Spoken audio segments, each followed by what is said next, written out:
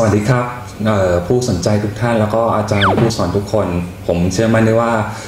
แต่ละท่านน่าจะมีประสบปัญหาเกี่ยวกับเรื่องการเรียนการสอน หรือการสื่อความหมายต่างๆ ที่เราจะถ่ายทอดให้กับเด็ก ซึ่งว่าการออกแบบภาพประกอบจะมีบทบาทสำคัญที่ช่วยให้ทุกๆท่านสื่อความหมาย หรือนำเสนอสิ่งต่างๆ ให้เด็กได้ง่ายขึ้น สำหรับวันนี้นะครับก็จะมาพูดถึงเกี่ยวกับเรื่องการออกแบบภาพประกอบสำหรับเด็กที่สามารถสื่อความหมายได้อย่างง่าย ๆ และถูกต้อง ก่อนอื่นเรามาดูหน้าที่และบทบาทของภาพประกอบในหนังสือประเภทบันเทิงคดีและสารคดีนะครับ เราก็มาเรียนรู้เรื่องของบทบาทและหน้าที่มีดังต่อไปนี้ ประการแรก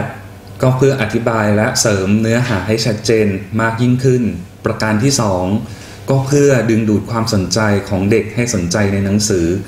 ประการที่ 3 เพื่อให้สอดคล้องกับจุดมุ่งหมายของหนังสือ และตรงตามจุดมุ่งหมายของผู้จัดทำประการที่ 4 เพื่อจุดประกายความคิด และสร้างจินตนาการสำหรับเด็ก และประการสุดท้าย เพื่อส่งเสริมให้เด็กเกิดความประณีต และมีรสนิยมที่ดีนั่นเองในส่วนของรายละเอียดและบทบาทหน้าที่ของภาพประกอบจะดึงดูดความสนใจในเด็กได้อย่างไรบ้างนั้น มาดูกันเลยครับเออลำดับแรกนะครับ ภาพประกอบจะช่วยให้เราสามารถเสริมสร้างเนื้อหาที่เราสื่อสารกับเด็กให้มีความชัดเจนมากยิ่งขึ้น ตัวอย่างเช่น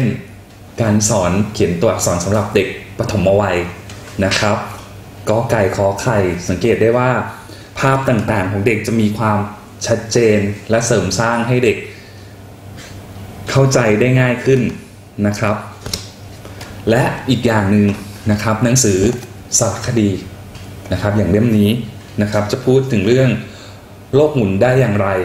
นะครับจะมีภาพประกอบเป็นลักษณะป๊อปอัพแต่ในภาพประกอบนั้นจะมีความ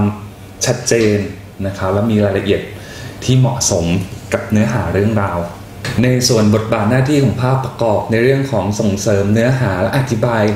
ให้เนื้อหาชัดเจนมากยิ่งขึ้นนะครับ ผมขอยกตัวอย่างหนังสือ สารคดีเรื่อง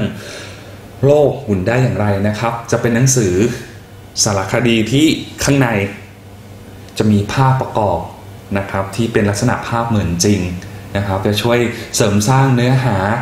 แล้วให้เด็กได้เห็นภาพและมโนภาพได้อย่างถูกต้องและชัดเจนมากยิ่งขึ้น ซึ่งหนังสือนิทานต่างๆ ก็ต้องมีภาพประกอบที่สามารถอธิบาย แล้วก็สอดคล้องกับเนื้อหาที่ผู้แต่งต้องการ แล้วก็อีกประเด็นหนึ่งครับในส่วนของภาพประกอบที่ช่วยดึงดูดความสนใจสำหรับเด็กนะครับ ตัวอย่างเช่น หนังสือกอไก่นะครับแล้วก็ A B C สำหรับเด็กเล็ก ในการช่วยให้อ่าน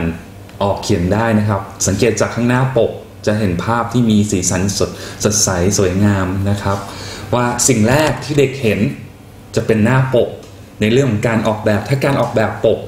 น่าสนใจสีสันดึงดูด ก็จะสามารถให้เด็ก เข้ามาหยิบหนังสือนี้อ่านได้นะครับ ลองดูข้างในนะครับ ก็จะเห็นว่าภาพประกอบจะมีลักษณะสีสันที่สดใสสวยงามนะครับ ในส่วนเรื่องของแม่ของฉันเป็นผู้พิเศษ ถ้าเนื้อหาเรื่องราวสนุกสนานน่าตื่นเต้นและเหมาะสมกับวัย สอดคล้องกับ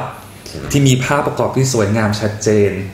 หนังสือเล่มนั้นก็จะสามารถดึงดูดความสนใจเด็ก และทำให้เด็กรักการอ่านมากยิ่งขึ้น บทบาทและหน้าที่ของภาพประกอบอีกประการที่สำคัญนะครับ ก็คือภาพประกอบจะมีบทบาทหน้าที่ตรงตามจุดมุ่งหมายของผู้จัดทำอย่างเล่มนี้นะครับ ก็จะพูดถึงว่าฉัน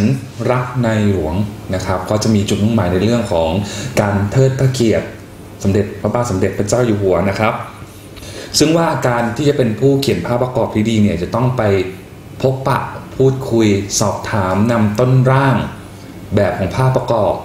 นะครับ ไปให้ผู้เขียนดูนะครับ แล้วช่วยกันพิจารณาความเหมาะสมของเนื้อหาเรื่องราว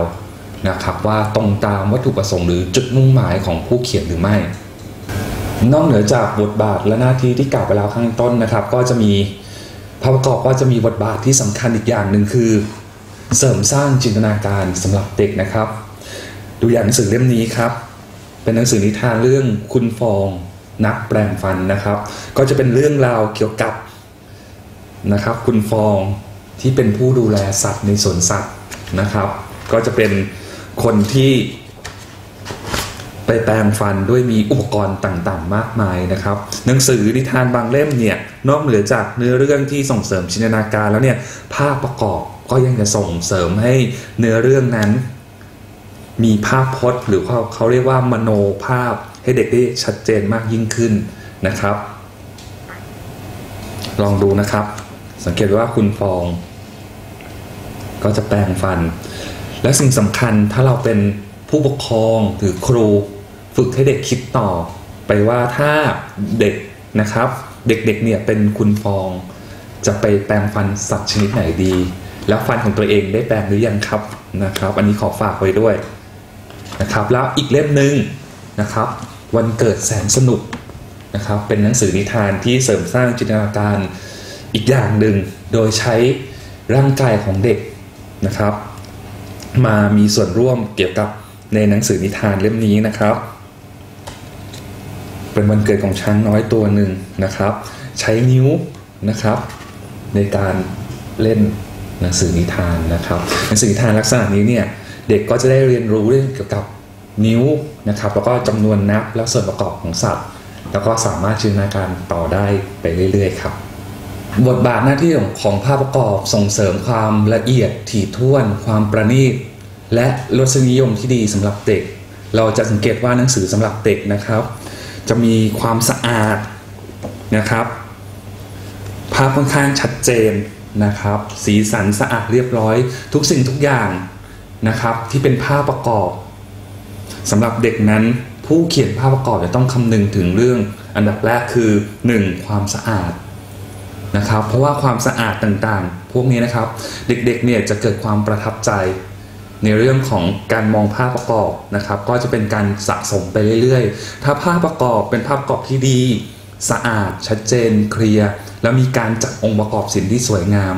ก็จะเป็นการเสริมสร้างและปลูกฝังเรื่องของรสนิยมทางศิลปะที่ดีต่อไปอีกด้วยครับ บทบาทหน้าที่ของภาพประกอบที่กล่าวมานั้นทั้งหมดก็มีความสำคัญในทุกประการนะครับ แต่สิ่งที่สำคัญที่สุดของภาพประกอบคือ ส่งเสริมให้เด็กได้รู้จักรักการอ่าน ถ้าภาพประกอบมีความสวยงาม น่าสนใจและดึงดูดเด็กก็สามารถทำให้เด็กเกิดการอยากอ่าน อยากเรียนรู้อยากเปิด โดยเฉพาะเด็กเล็ก ๆ ถ้ามีภาพประกอบที่ดี ตรงตามความต้องการของเด็กสวยงามสะอาด จะเป็นการปลูกฝังให้เด็กรักการอ่านยิ่งขึ้นไป ก็ขอฝากไว้ด้วยครับ